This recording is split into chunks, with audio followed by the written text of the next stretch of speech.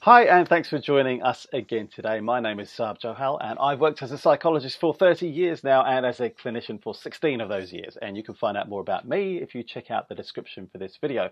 And also, you'll be able to find out more about my special guest and collaborator on this series of videos on self leadership, and that is Julie Trainer. How are you today, Julie?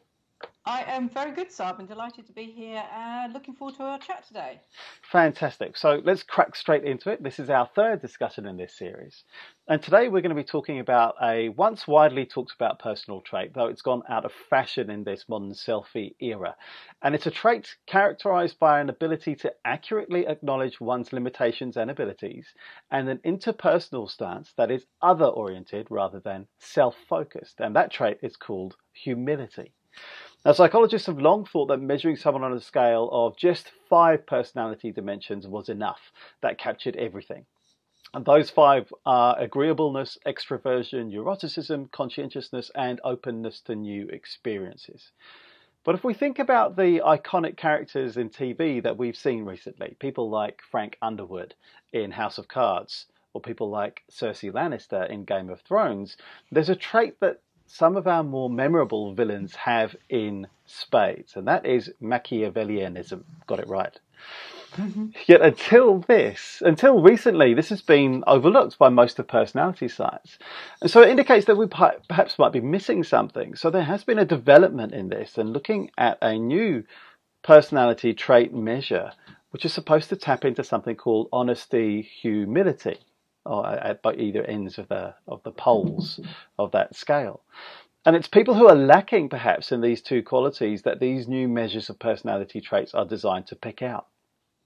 So, Julie, what's your view on this idea of humility being perhaps missed by a lot of people? And it's perhaps its counterpoint, Machiavellianism, this idea of a group of behaviors that perhaps depicts a person so focused on their own interests that they may manipulate, deceive, and exploit others to achieve their goals. Yeah, it's interesting. Is you know, if leadership's about anything, it's about who you are as a person and, and what you choose to contribute to the world. So on one hand, you could have uh, people who have humility, who really focus not on themselves but on other people, and then on the other end of the scale, um, you know, Machiavellianism now I'm struggling with that, that word.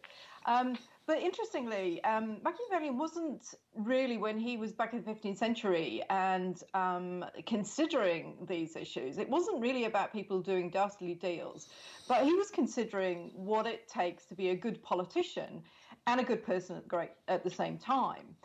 And so, you know, for me, what this is really about is grappling with this uncomfortable truth of leadership, which is how do you balance ambition and humility? How do you retain your integrity um, around others who perhaps are playing with less generous motives, let's say? Um, and so, in the process, you know, you are trying to weigh up what ethical trade offs are you trying to make? Um, are you thinking about yourself? Are you thinking about other people? Um, Machiavelli actually talked about something which he called criminal virtues, which in some sense is is um, a way of behaving which to all intents and purposes looks criminal but actually is there to protect the greater good. And so if leaders are wanting to stand up for principles or actually getting something achieved then you have to weigh up this um, uh, this continuum if you like between um, thinking about other people and thinking about yourself. And um, I guess the one thing that comes to mind for me when I think about humility is the extent to which we put leaders on a pedestal and kind of make them out to be heroes of the day, um, or superheroes, if you like. Um, and um, in truth, superheroes are the ones that do great things for other people. Um, they are not the ones that are thinking about what's in it for them, but they are really looking to help other people in the process and not get the credit for it. So, in one sense, superheroes are the people that really show humility, in my view.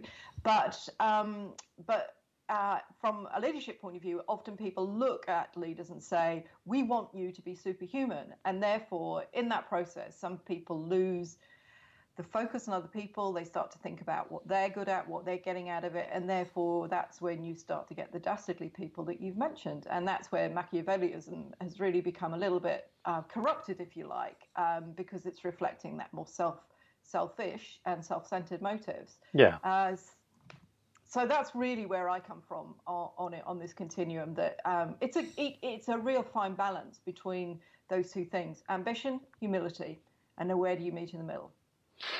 And as you're talking, I'm sat there thinking, I totally agree with you, and I'm wondering about um, this idea of the the pedestal and this idea of whether the person who is the leader is kind of seeking to put themselves up on a pedestal or whether the team that they're working with is seeking to have them on a pedestal because that's what they need. And I guess that this is leading me to this idea of hubris, this idea, perhaps it's less dark than Machiavellianism, but nevertheless, it's this excessive pride or self confidence. And we know what that looks like. Yeah, we get, we see leaders all the time uh, who get caught too caught up in their own success to a point where they're showboating their accomplishments or trying to convince people of their greatness. And the fact is that no one's inspired by show offs. Bragging about your accomplishments and greatness will most likely result in your team absolutely dissociating and disconnecting with you. Totally. I, I mean, the, the thing is, is that, um, you know, leadership uh, only works when you've got other people following you. And at one level, um, you know, we do look to our leaders to provide confidence and direction and some impotence to what we're doing. But equally, we want our leaders to respect uh, what we're doing, the contribution we're making. Uh, so, yeah, it's interesting how on one hand, we do want to look up, if you like, or um, to leaders on a pedestal, or and actually in hierarchical sense, in many organisations, that literally is where they're going. They seem to be of a higher status. Um, but the truth is, is that we all want to feel uh, important, and we don't like leaders who are pushing themselves as more important than any other human being in that team maybe we don't look at the pedestal, we look at the corner office. Maybe that's what we should be doing instead. So I, I, just wanted to flag some research that's gone into this concept called intellectual humility, which is defined as an awareness of actually it's a reflection on how incomplete or fallible our views might be. Uh, and in particular, we're looking at, I'm looking at this study on political and social issues, people realizing that actually perhaps they don't have all the answers. And researchers have found that this kind of intellectual humility is not related to IQ or political affiliation, but it is strongly linked to curiosity, reflection, and open mindedness. So we can see how humility can help with leadership and managing oneself. And there's more to that as well. Other people have found that people who score high for humility are less aggressive and less judgmental towards members of other religious groups that are less than are less humble people, even and especially after being challenged about their own religious views. So they respond well not only to those other views that people may have, but also when their own views are challenged too. So I wonder, humility is important in leadership too, but also, I guess, relationally, especially when dealing with difficult people, perhaps. Absolutely. Um, one of the um, biggest dilemmas that I work with people on as a coach is how do you have uh, hard conversations to say things to people that um, you know feel tricky to say, but actually also how do you deal with difficult people? And ultimately, uh, humility comes into play here. And what I say to people is, try to be the better person in the room. And they often look at me quizzically go, Well, what do you mean? Um, and I uh, explain this by saying, when you feel that somebody is uh, being difficult, if you like, or that uh, their own ethics or motives are being unfairly challenged, showing leadership means that they show humility to the other person. Instead of fighting back, they will have the humility to listen really deeply to what the other person's saying, to be open to another point of view, to have the confidence to challenge what isn't right, um, and also have the wisdom to back down when you need to, and show. Showing humility, my experience, when you are being the better person in the room, it starts to force other people to reflect on their own perspectives to think about the decisions and actions they're taking and think about you know that difficult uh, situation that's being um, people are trying to work through is that there are two points of view on it. So, in effect, um, humility acts as a way of encouraging other people to show more humility uh, because uh, you are being the better person in the room, I can say. And that isn't being um, better in literal sense, but actually you're just creating a space, a space as a leader to allow other people to reflect more deeply, be more curious, and um, it takes the uh, difficult and challenge out of the process because you're getting into a much more open dialogue.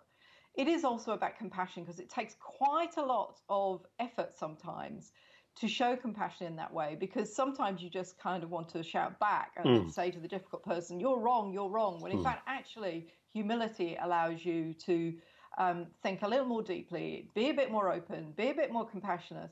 And in so doing so, you're forcing other people to be a bit more conscientious uh, towards you as well. Hmm. It's a very human point of view. Uh, absolutely. I think um, you know, one of the things that I think the research is telling us about humility is that it provides us with a psychological resource, a reservoir for us to be able to perhaps even shake off grudges.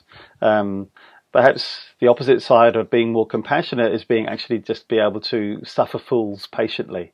You know, even when we know that actually what's being discussed is actually not on the track that um, everybody else has kind of like agreed with, we're, we're able to kind of get through that.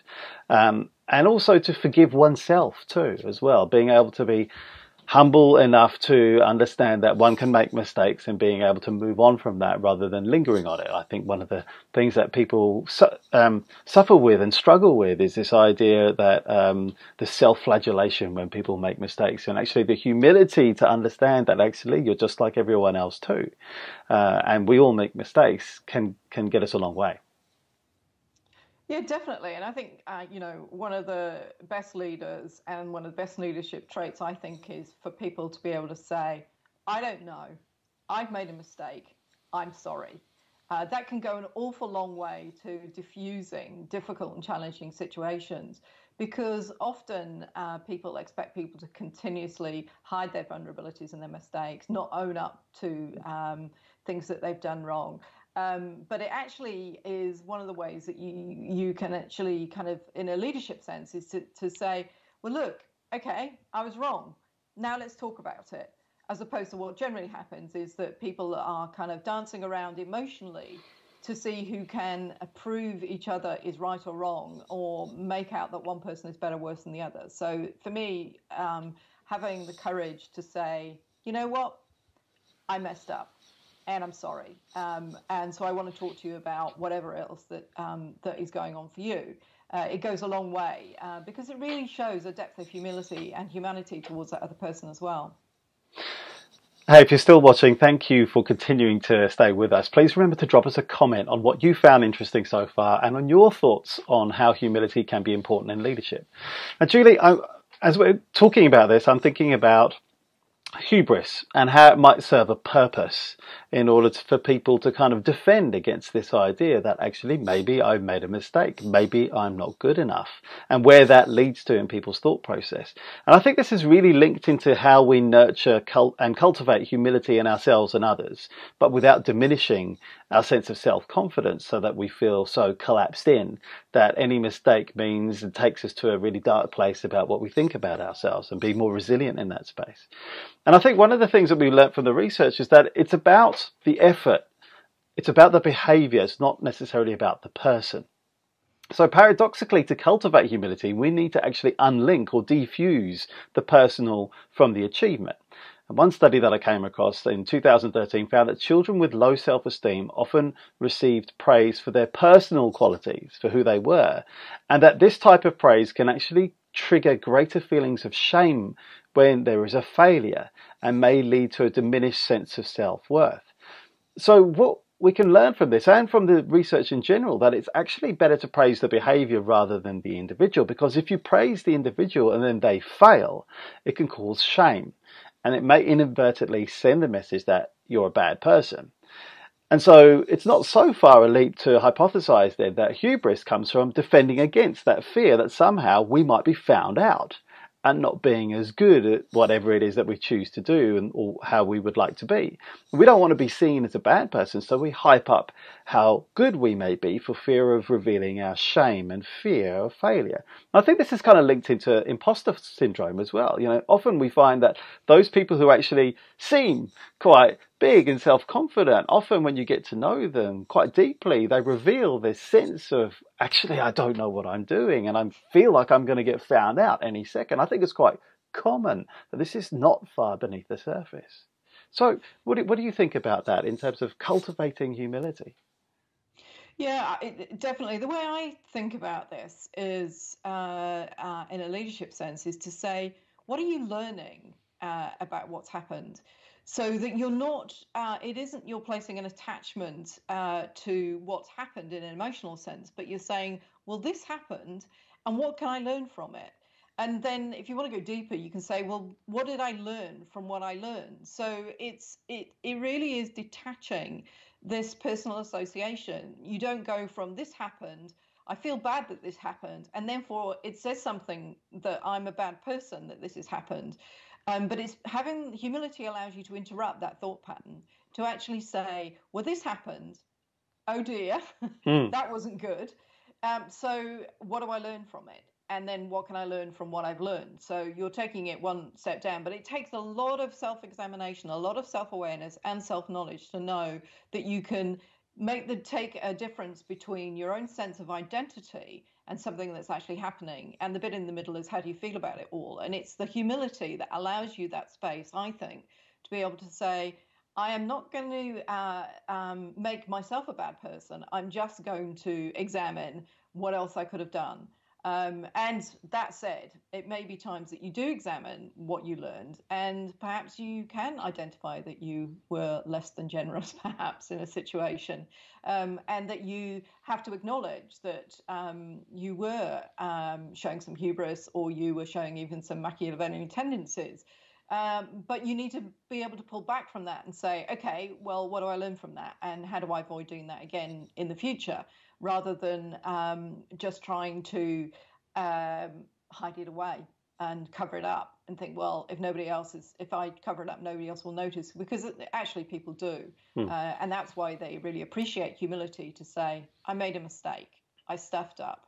Um, and um, we all make mistakes. It doesn't make me a bad person, it just makes me uh, having made an error in this situation. Uh, classic case, course, is try not to make the same mistake over and over again because that's not really showing too much humility because you're not really learning mm. um, from what's going on. Mm. So as you're talking, I'm thinking about how you, when you said, "Oh, that didn't go well," I've made a mistake. I guess that it's talking about quite a few things to me. One is you talked about the feeling, and often to be able to step back and defuse and not get caught up by the feeling is really hard and it takes a lot of practice because otherwise we get caught up with the feeling and we act according to the feeling rather than the reflection uh, that we have when we're able to step back from that situation. Mm. And so to be able to interrupt that flow of the feeling and where it leads to, we also need to be aware and interrupt the thought pattern of where that leads to. Because often when we stuff up, when we make a mistake, if we're not careful, we can say, oh, it's me again. It was my fault. It's always my fault. And it's going to affect everything that I do. So there's no point trying anymore because I'm just a mistake. It's not the mistake, I'm the mistake. So yeah, I think being able to actually interrupt that um, uh, linking with the emotion and being caught up with the emotion, but also being aware of our thought patterns, developing that self awareness and being able to actually step out of that and say, actually, on this occasion, I've made a mistake. I'd like not to do this again. I'd like to get some feedback and get some help from everyone that I'm working with to try to make that not happen again and acknowledge my part in that, but also not let it diminish me and um, limit me so much that I'm not able to perform in my task as a leader.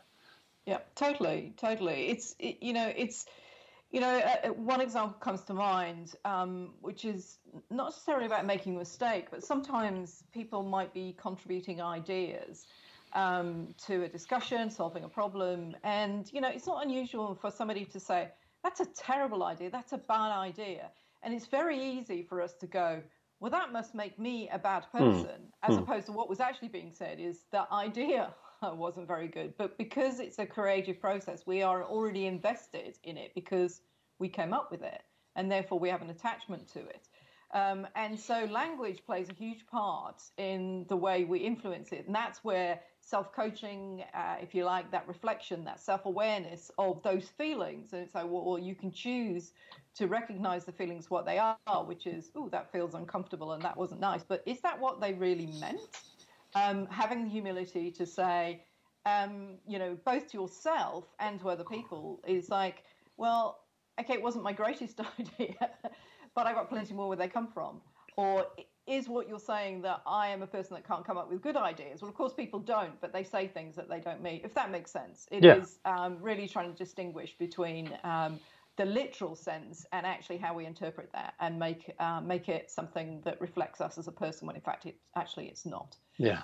And so what I'm noticing there is that actually what you're describing here is something that's relational, right? So the person who is actually offering the criticism, the view of the idea, actually what's helpful is that you are specific about that. You say, do you know what? Actually, not really sure if this idea is going to work that well.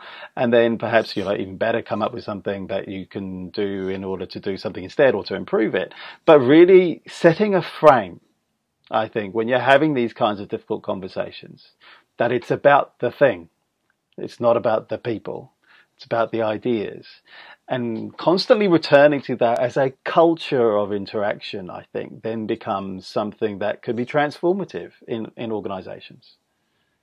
Well, that's definitely, and that's ultimately, uh, and this is easier to say than to do, and particularly in the moment and when things are maybe a bit inspiring mm. or, or challenging, is that we all need to show self leadership. It's not just, you know, that it's sitting in the response of people with the badge on their name is that actually we all need to lead ourselves in order that we can all contribute fairly. And therefore, humility is thinking about other people's point of view. Um, and before you uh, kind of spout off, well, that's a bad idea or you made a mistake, it's actually having the humility to think, well, um, if that were me, what would it be like for me? And therefore, what might it be like for that person? And how would I rather hear that news or get that feedback in a way that actually doesn't diminish me as a person, but actually values the contribution I made, even if it wasn't a very good idea and it's mm. not hmm. going to work. Yeah. So if we move on then, I'm thinking about well, what can we be doing instead in order to stand in this humble place? I came across a um, an example from a commencement speech at a high school that I found linked to an article I was reading, and I'll put a link in the description as well. But here's a quote from it I'd like to read out and, and get your thoughts on it. Like accolades ought to be, the fulfilled life is a consequence, a gratifying byproduct. It's what happens when you're thinking about more important things. Climb the mountain not to plant your flag, but to embrace the challenge, enjoy the air, and behold the view. Climb it so you can see the world, not so the world can see you. Go to Paris to be in Paris, not to cross it off your list and congratulate yourself for being worldly. Exercise free will and creative independent thought not for the satisfactions they bring you, but for the good they will do others, the rest of the 6.8 billion and those who will follow them. And then you too will discover the great and curious truth of the human experience. It's that selflessness is the best thing that you can do for yourself. The sweetest joys of life then come only with the recognition that you're not special because everyone is. yeah, I love this. I, you know, if you really stop and think about what not being special means here, it really does force you to um, see yourself as part of this bigger the world. Um, you know that your ego and your ambitions are just a tiny drop in a bigger world and experience. And it, it really is about stepping back and enjoying the ride if you like enjoying mm. the experience. Um, you know the phrase that often comes to mind is the winning that's important not uh, sorry it's not the winning that's important it's the taking part that matters. Um, and so to relish the world to relish the perspective of other people's to feel the experience um, is uh, to feel stronger and more powerful um, as a result. Uh, uh, um, and in some senses, is you feel the power by feeling less significant in that respect mm. because you can feel more grateful for the opportunity. You can um, see what it is uh, in terms of uh, in the present moment. Uh, you can learn more. You can open your eyes up because you're not looking uh, for an achievement. You're not looking for whatever you think you've gone to find, whether it's to Paris to climb the Eiffel Tower or do all the uh, tick all the boxes in the you know the tourist trade, it, um, you know the tourist guide. It is to just get a sense of wow, I'm here.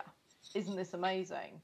Um, and what you can learn and what you can experience is much more deeply that way than um, because yeah, you're just one of many, many, many special things and special people. And actually, it is this powerful sense of who you are and what's important to you comes by placing less significance on yourself.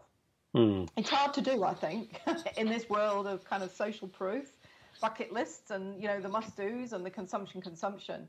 Um, but I think people with humility have a real ability to set aside their own point of view and just see the world for what it is, um, and see that you're just such a tiny part of a much bigger universe. Mm. And you say it's hard to do. I, I, guess one of the things that I've noticed in my life, I've been lucky enough to travel a bit. And so one of the things I've noticed that really brings this home to me is when I'm near mountains or when I'm in the desert, especially when I'm in the desert. A because I'm I'm it's just so big. You can see from horizon to horizon. There's just nothing else there, uh, and it's just you're so insignificant.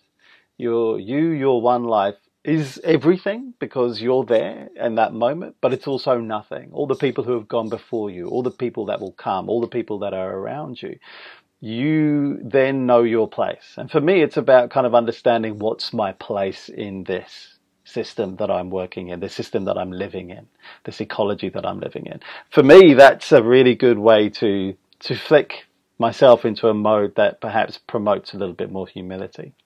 So, and I guess what I'm bringing us to is this idea is uh, if we want to lead with humility, what are the sorts of things that we should be looking to do? What are the sorts of behaviors that exemplify humility? Because it's kind of uh, I guess it's an iterative process, right? It feeds itself. You know, the the more that you behave in a humble way, the more benefit and feedback you get from how useful that is, and the more you're likely to behave in that way in, in the future. Mm. So I guess I'll take you through maybe five things that we've kind of like nailed down here. And Julie, I'd, I'd love to get your views on each one as we go through it, and perhaps I'll add to that.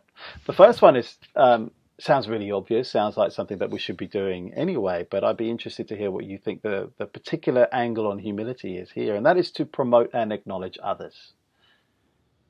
Oh, uh, definitely. And I think it plays not just to actual people, uh, that, you know, uh, people with humility are good at recognizing um, and promoting the contribution of others and respecting their value. But I think it plays back to what we were just saying is that we are a very tiny piece of a very big universe over a very long period of time.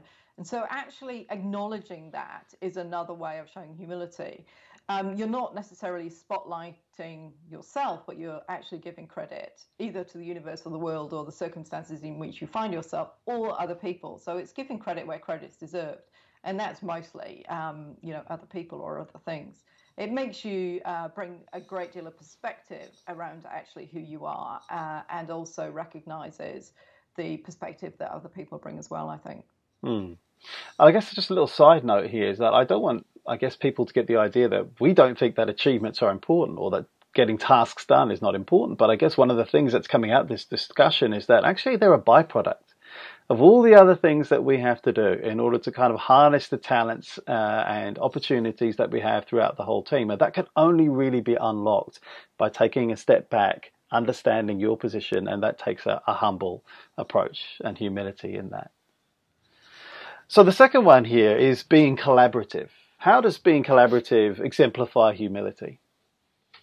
Well, I think to some extent it plays a little bit of what you've just said, um, to me anyway, about um, uh, achieving uh, achieving things. Um, because for me, you um, mostly get more and better outcomes and achievements by working with other people.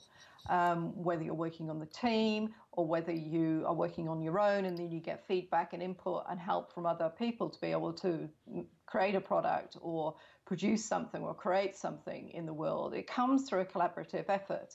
And humility is to recognize that, uh, A, that you can't do it on your own. And secondly, that um, by collaborating with others, you're going to get much bigger perspective, lots of diversity, and more creativity. And the fact that collaboration is not ju- just not for your own benefit, um, but actually by you collaborating, you're helping other people as well. So for me, collaboration is important not just to produce great results, but actually it's the way that you can um, uh, help other people in a way. So it's not all about you. By collaborating with others, they're collaborating with you, and it's this kind of virtuous cycle, if you like. I guess one of the things that uh, I've seen in teams is that. Um, that one needs to watch out for is this idea of when you're being collaborative is that you're treating the whole team as equals. That's not saying that everyone is the same. But if we're not careful, then if we've got a tight deadline, we focus our coaching perhaps on those people who we see as deliverers, who are going to be able to get the job done. And then that becomes reinforced and we end up just spending and pouring all our resource into those members of the team rather than, than other members of the team who perhaps contribute in other more silent, invisible ways. So really thinking about what does collaboration actually mean? It's not perhaps just about the task that needs to get done in the short term. It's promoting a longer view around that and being humble enough to see that actually my place is to kind of try to uh, facilitate that happening across the whole team, not just certain members. Yeah, yeah, definitely. And and the collaboration is only the process to get a better contribution hmm. and to create the space for other people to, to contribute well. So if you are leading a team, for example, um, is to make sure that everybody um, feels safe and able to make that contribution, but also is being member of a team, not just to hang back and let other mm. people take the strain. Um, uh, for you not to sit in your comfort zone, but actually to actually contribute. Um, you know, collaboration in some senses has become a bit of a passive thing. Oh yeah, we're all collaborate. We can sit together and chat about it. But you know, actually, it's humility that actually gets us to step up and contribute mm. uh, to that collaboration, not just be part of it as it goes. Mm-hmm. Yeah, it's easy just to kind of like be the uh, if we're not careful to loaf around in uh, in a particular task when something's happening. It's called social loafing. I don't necessarily like the term, but it's easy to kind of take a back seat and pass and be passive. Whereas actually being humble is about well what can i contribute here even though perhaps i'm not the person who has the knowledge in order or the skills to get this done in what other ways can i contribute and what other ways can i learn perhaps in this process where then next time this comes up i can then contribute in a different Definitely. way yeah yeah. So the third one here is um, showing integrity. Now, I'd love to get your view on this because I'm sure you must come across, across this lots and lots. Oh, uh, definitely. And, um, you know, I've done many exercises with both individuals and teams of people, and where we're talking about values and the importance of honesty and integrity. Um, and it's really fascinating how people can spend a long time thinking deeply about, you know, what matters to them, and then um, completely uh, avoid uh, upholding those values and showing the integrity to them. You know, it's a case of um, saying what you mean and and doing um, doing what you say you're going to do. You know, keeping promises and recognizing that. Um, honesty and integrity means um, following through uh, it's not about saying, "Oh, that's a nice thing for us all to have," and then go, "Oh, but it's too hard." Mm. Uh, humility is actually to embrace uh, what you decide is most important, particularly in a team or even to yourself, and follow through. Um, I, I, work with teams, and when I do, um, I try to get them to talk when they start to talk about integrity. You know, I start to talk about work ethic, mm. and they sometimes start to realize that, whoa, hang on a minute here. Um, uh, you know, if we are going to have a work ethic, what does that mean? And so, you know, it's showing integrity by upholding what you believe in and following through. Even if from time to time you slip, it's to be able to say, oops, there, um, having the humility to go, well, I didn't do that or I didn't follow through on that. But um, but showing integrity to me is one of the most fundamental things that's important to individuals and teams. And certainly in teams, the moment integrity starts to slip and slide, either as individuals in a team or the team as a whole, um, that's when I think you start to erode trust and you start to erode um, commitment. Um, so integrity for me is the foundation upon, upon which leadership is built because it sets the standards, if you like, by which you you as an individual or a team are expected to uphold. Mm-hmm.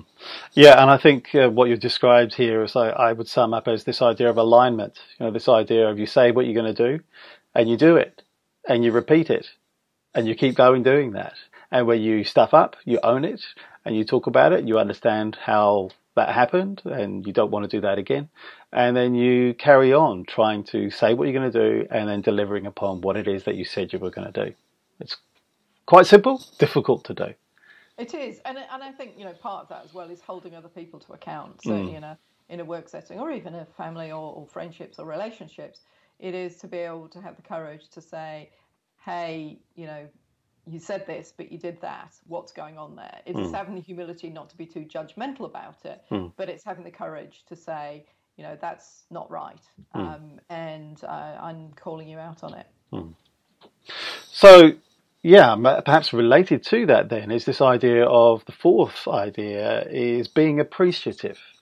Uh, so, what what does that mean to you in humility, Julie?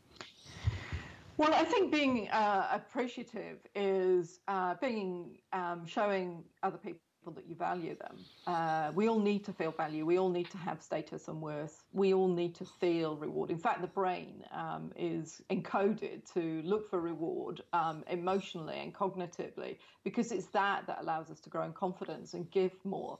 So if we don't feel appreciated, if we don't get acknowledgement, um, so whether it's at work or at home, you know, we all know what it's like when you kind of feel like you're slogging away and not getting any thanks at all. And it's not that you need to lots of loud applause or, or, or prizes, although they can be quite nice if you enjoy that kind of thing. But a simple appreciation, a thank you, hmm. um, can be good enough to improve your level of confidence and therefore uh, make you feel like you have more status and self worth, uh, let alone in a team where you're actually uh, are actually demonstrating value by contributing to the success of the team. Hmm. And without appreciation, whether it's from the leader or from other members of the team, it can feel quite isolating um, and can not feel that good. Hmm. And, I, and I think here, you know, one of the things that underlies this is this difference between being others oriented and self oriented and striking the balance between the two. And it strikes me that perhaps a leader with humility will always be grateful rather than prideful because it's about being the gratitude is about understanding what it is that's contributed to your success, the team's success. But being prideful is where the spotlight is then back on you. I'm proud because this is what I've done uh, for my team. This is what I, my leadership has done in order to produce this. So there's a there's a big difference, I think, between that grateful stance and the prideful stance. Yeah, definitely, and also between the prideful uh, stance in in um, helping other people to find pride in what they're doing as well um, by showing appreciation towards them. Um, and that doesn't mean to say you'll have to kind of exhibit hubris, but it, but it is a much gentler, more humble, uh, you know, form of appreciation uh, where humility is actually the way to doing that. Yeah, and that's not to say that having pride is bad, but it uh, needs to be struck with the balance of gratitude yeah. too. Yeah. And so the final one, and I, I know that this is core to your purpose, Julie, and that's being human. To show humanity is a key to humility and leadership. Yeah, definitely. And, and if anything, if I think anything about uh, leadership and self leadership, is to recognize that we're not perfect. Um, that as humans, we have faults, we have limitations, we have strengths, we have great uh, characteristics as well. Um, but um, but we don't always function in a perfect way in a perfect world. Uh, we bring a lot of emotional baggage with us everywhere that we're going on. There's always stuff going on. There's always experiences from the past. And when you show up um, with uh, humanity, it is to show compassion towards yourself and humility towards yourself and other people. I think too often, certainly in a formal leadership sense, uh, in an organizational setting, I think we try to be too idealistic about the way we operate. When we show humanity, we show that we're a human being, and therefore um, we're more likely uh, to accept ourselves and for other people to accept us as well. So, yeah, for me, uh, leadership is all about being human, working with your strengths and those weaknesses, and not trying to be perfect uh, or even think that anybody can be perfect. It's much better to recognize that we have warts and all and uh, enjoy them for what they are. Thank you, Julie. It's been brilliant talking with you again today. Uh, please let us know in the comments below what you thought, what resonated with you, what did you agree or disagree with? Do you have any tips for those who find themselves wondering how to manage to stay humble yet also maintain their self-confidence and indeed perhaps assertiveness when needed? And perhaps that's something we can talk about in another show. Now, have you done this yourself? How did you manage it? We'd love to hear your stories. Now, we hope to be back again soon and we hope you'll join us again then too.